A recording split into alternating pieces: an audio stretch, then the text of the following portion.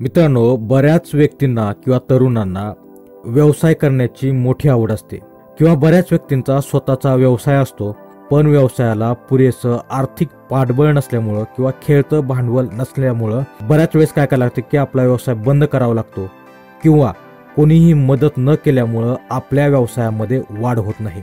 पण मित्रांनो हल्लीच पंतप्रधान कार्यालयामार्फत P M E G P नावाचं एक नवीन म्हणजे सामान्य व्यक्तींना किंवा जे व्यक्ती व्यवसाय करतात अशांना अगदी कमी वेळामध्ये जास्तीत जास्त कर्ज पुरवठा व्हावा म्हणून एक योजना सुरू करण्यात आली आहे. आणि बऱ्याच व्यक्तींचं असं म्हणणं असतं की आपल्याला आपण कर्जासाठी ॲप्लिकेशन करतो अर्ज करतो पण आपलं ॲप्लिकेशन नामंजूर होतं किंवा रिजेक्ट होतं आणि कर्ज मिळत नाही.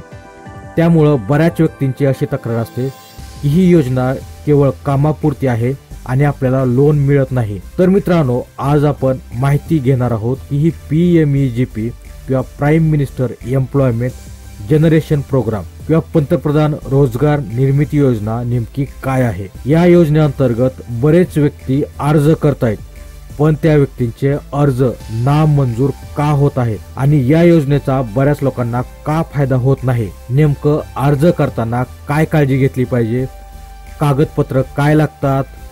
त्यासाठी तुमच्या अटी शर्ती काय आहेत अर्जाचा नमुना काय आहे या सगळ्या बाबींचा आज आपण पूर्ण माहिती घेणार आहोत. त्यामुळं तुम्ही अर्ज करताना कशा प्रकारे करायचा काय काळजी घ्यायची काय कागदपत्र जोडायची अर्ज कधी करायचा कोणत्या टप्प्यामध्ये करायचा तुम्हाला किती लोन मिळतं कोणत्या व्यवसायासाठी किती लोन मिळतं इंटरेस्ट रेट काय असतो आणि विशेष म्हणजे सरकार नेमकं किती सबसिडी देतं या संदर्भामध्ये आपण पूर्णपणे विस्तृत माहिती घेणार आहोत. तर मित्रांनो व्हिडिओ शेवटपर्यंत बघा कमेंट बॉक्समध्ये कळवा. आणि विशेष म्हणजे जर आपल्या व्हिडिओवरती जर नवीन असाल तर आपल्या व्हिडिओला लाईक करा सबस्क्राईब करा आणि ही माहिती सगळ्यांपर्यंत पोहोचवा. त्याच्या अगोदर मित्रांनो आपण ही माहिती घेऊयात की दोन हजार बावीस ते तेवीस या वर्षामध्ये किती लोकांनी अर्ज केला? आणि किती लोकांचे अर्ज मंजूर झाले हे अगोदर बघणं आवश्यक आहे. साधारणपणे चालू वर्षामध्ये सेहेचाळीस हजार लोकांनी अर्ज केले होते.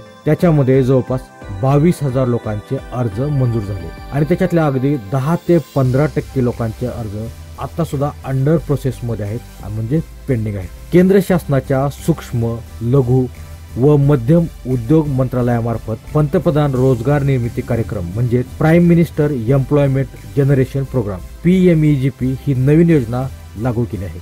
या योजनेची अंमलबजावणी ही खादी ग्रामोद्योग आयोग खादी ग्रामोद्योग बोर्ड यांच्या कार्यालयामार्फत ग्रामीण भागामध्ये व जिल्हा उद्योग केंद्रामार्फत शहरी व ग्रामीण भागात केली जात आहे. प्रत्येक जिल्ह्यात बेरोजगारासाठी ही योजना राबवण्यात येत आहे. आता बघूयात की मित्रांनो नेमकं कर्ज किती भेटतं? P M E G P योजनेअंतर्गत साडेनऊ लाख ते पन्नास लाख इतक्यापर्यंत कर्ज मिळतं. जर तुम्ही सर्व्हिस इंडस्ट्रीमध्ये असाल सर्व्हिस इंडस्ट्री म्हणजे काय? किंवा तुम्ही वेगवेगळ्या सर्व्हिस देत आहेत जिथं मॅन्युफॅक्चरिंग न करता तुमचं ऑनलाईन सेवा आहे तर अशा म्हणजे तुम्हाला वीस लाखापर्यंत भेटतं. आणि जर तुमचं मॅन्युफॅक्चरिंग युनिट असेल म्हणजे तुम्ही काही वस्तू बनवताय खेळणी बनवताय कपडे तयार करताय तर तुम्हाला पन्नास लाख रुपयापर्यंत तुम्हाला कर्ज मिळतं. आता या कर्जामध्ये काय असतं? जो कोणी व्यक्ती या कर्जासाठी ॲप्लिकेशन करतो त्यानं साधारणपणे पाच ते दहा टक्के स्वतः म्हणजे तुमचं भांडवल असलं पाहिजे तुमच्याकडे रक्कम असली पाहिजे आणि बँक जी आहे ती नव्वद ते पंच्याण्णव टक्के म्हणजे तुम्हाला लोन देते. आता सगळ्यात महत्वाचं आहे मित्रांनो की बऱ्याच व्यक्तींच्या मनामध्ये शंका आहे की आम्ही इतके अर्ज करतो हे करतो पण आमचं काय होतं की लोन मंजूर होत नाही किंवा रिजेक्ट होतं. मित्रांनो आता जे स्टेट बँक ऑफ इंडियाचे जे मॅनेजर आहेत त्यांनी मध्यंतरी त्यांना एक प्रश्न विचारण्यात आला होता की सरकारची योजना आहे पण तुम्ही बऱ्याच लोकांचे अर्ज नामंजूर करतायत. त्याचं नेमकं कारण काय? तर मित्रांनो त्यांनी असं सांगितलं की बऱ्याच लोकांचं काय असतं की याची एक आट आहे. आट म्हणजे काय? जर तुम्ही कर्जासाठी अर्ज करताय तर तुम्ही एखाद्या औद्योगिक प्रशिक्षण संस्थेमधून तुम्ही काय केलं पाहिजे? एखादा कोर्स तुम्ही अप्लाय केला पाहिजे. सगळ्यात महत्वाचं काय असतं की तुम्ही त्या विषयातले ट्रेट असाल किंवा इव्हन तुम्ही एक्सपर्ट असाल तरी पण सरकारी नियमानुसार तुम्ही त्या क्षेत्रामधला एखादा कोर्स जसं की एखादी महिला असेल तिला कपड्याचा किंवा एक शिलाईचा काम करायचंय.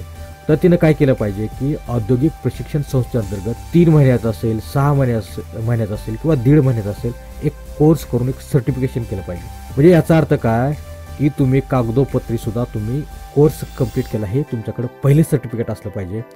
आणि बरेच व्यक्ती काय करतात की डायरेक्ट कर्जासाठी ऍप्लिकेशन करतात. त्यांना मिळत नाही. तर तुम्ही एक कोर्स केला पाहिजे. त्याच्यानंतर सगळ्यात महत्वाचं आहे की तुमचे कागदपत्र. बरेच लोक काय करतात की एक दोन डॉक्युमेंट जरी कमी असलं तरी काय करतात की ते ऍप्लिकेशन करतात. त्याच्यामुळे ते रिजेक्ट होतं. आणि तुम्ही असं दोन तीन वेळेस अर्ज केलं आणि तुमचं रिजेक्शन झालं तर पुढे तुमचं लोन तुम्हाला कधीही मंजूर होत नाही किंवा त्याला कालावधी आहे दोन तीन वर्ष लॉकिंग पिरियडचा तर त्याच्यामुळं प्रक्रिया करताना सगळी कागदपत्र त्याच्या अटी आणि शर्ती कंप्लीट करून तुम्ही काय करा की ऍप्लिकेशन करा. त्याच्यानंतर काय असतं की बऱ्याच व्यक्तींचा प्रोजेक्ट रिपोर्ट म्हणजे ते व्यवसाय चांगला करतात त्यांची उलाढाल चांगली आहे त्याच्या डोक्यामध्ये प्लॅनिंग चांगलं आहे पण त्याने तर तो व्यवस्थित तयार करत नाहीत आणि काय होतं की ते जे मॅनेजर असतात बँकेचे लोन प्रोसेस करणारे त्याच्या मग त्याच्या माइंडमध्ये बसत नाही आणि तुमचं काय होतं की रिजेक्ट होतं. आणि दुसरं म्हणजे तुम्ही जो काय व्यवसाय करताय तर त्याची रूपरेषा तुम्हाला चांगली माहीत पाहिजे. जर तुम्हाला ही माहीत असेल ज्यावेळेस तुम्ही इंटरव्ह्यूला जाता